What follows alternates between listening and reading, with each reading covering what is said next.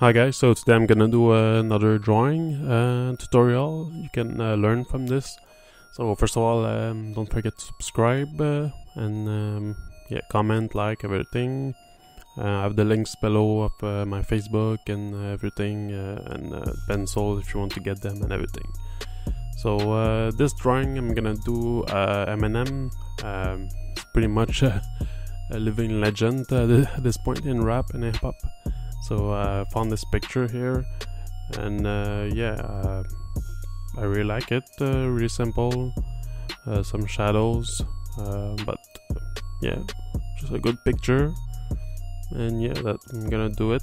I'm gonna talk during this video just to show you some what I'm doing. Um, I mean my my strategy and everything. So yeah, let's go. So first I wanted to start with the darkest uh, place in the drawing, the shadows, so uh, the really dark shadows. Like I talk in my video up here in the card, in my episode 1 I talk about this. So uh, I started with this, uh, like you see me doing, and uh, then I wanted to do the shadows, like not only the black shadows but also the shadows around the eyes, which are like uh, dark skin skin tone but I wanted first to know what is the skin tone of the this picture. So I wanted to see from this picture here, this area, around this area, what what is this color approximately? And me, I'm so used to you. Uh, I use so often uh, Seashell pink for a light uh, tone, light skin tone. But I tried it.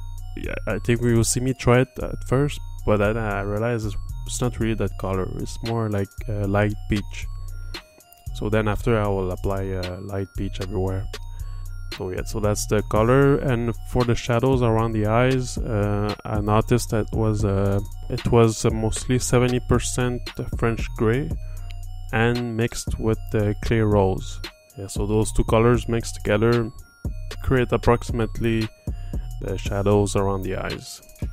So I use these a lot 70% French gray and clear rose I use them uh, in a lot of places and I mix also uh, dark uh, dark gray with them also for darker places. So around the eyes I use uh, espresso mostly. It's uh, like a dark uh, brown, and on the iris I use light light blue. it's called light cerulean blue. I don't know, but any light blue will, will do and then I, I cover it with uh, 70% warm gray and 90% warm gray to make it not as uh, blue. And for the skin tone on the nose and the cheeks uh, like I said I use a light peach everywhere. And after that I covered it a little bit with 10% warm gray. And after that I used 70% French gray on some darker places to cover it I use a clear rose also, uh, especially on the nose, uh, clear rose because it's a little bit pink. So the nose has a little bit uh, pink on it.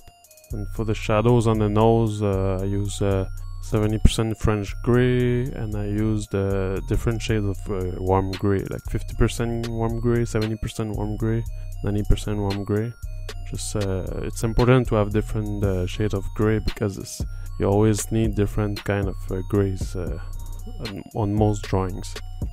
For the lips it was pretty easy, uh, just clear rose, applied it and some 70% gray or 90% gray on top to create some shadows. And the bottom lip was uh, I mixed it uh, clear rose with a little bit of uh, I think I used peach a little bit on top of it.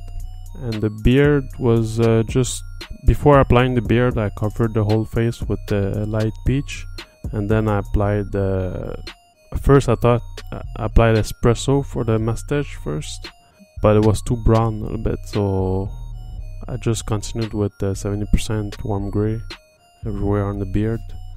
I mix it a little bit espresso in it, but mostly uh, 70% warm gray.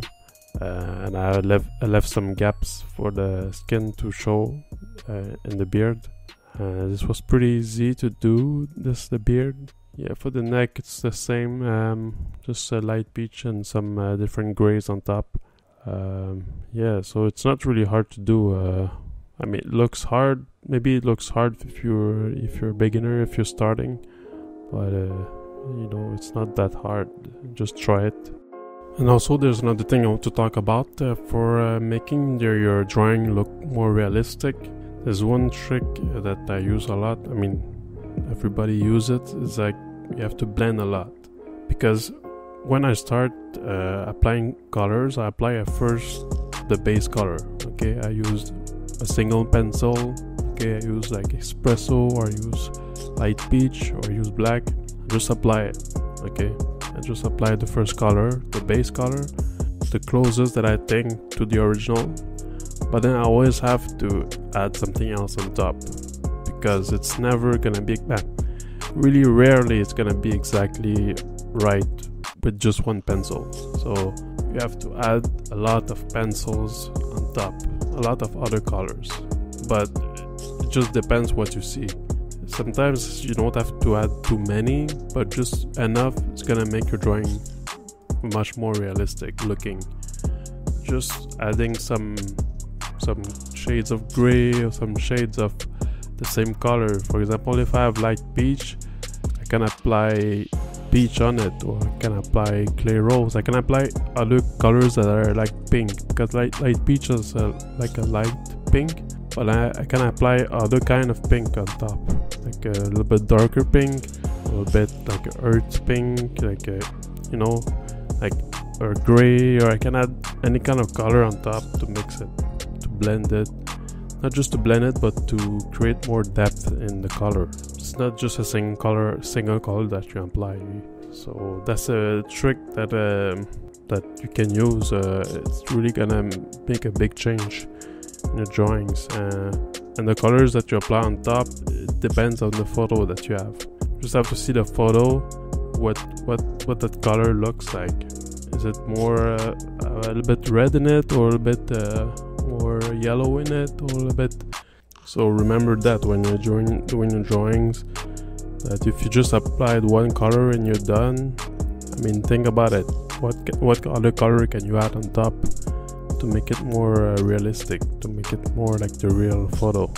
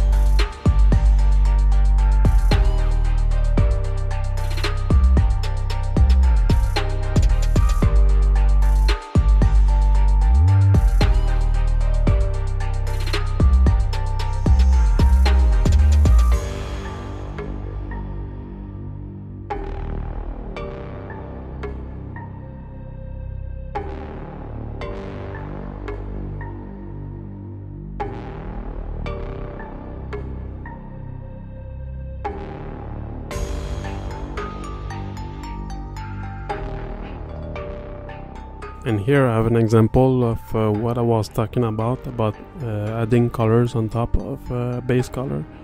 Now I'm adding uh, henna color on top of uh, all the other colors I applied before. Because I saw that clear rose wasn't uh, like pink enough. So I used henna and for me it really made a difference with henna because when I apply it on top it makes it more pink the colors appear more pink because henna is a darker pink. So it helped me a lot uh, in the shadows and around the nose. So this is just an example to show that sometime at some point sometimes you're like what, what other color can I use to improve it a little bit? So then you look around you search do some tests and then you realize okay I can use this one. So henna really made me uh, you see I applied everywhere the nose uh, because it I saw in the picture it was more pink around the nose and in these places. This is just an example.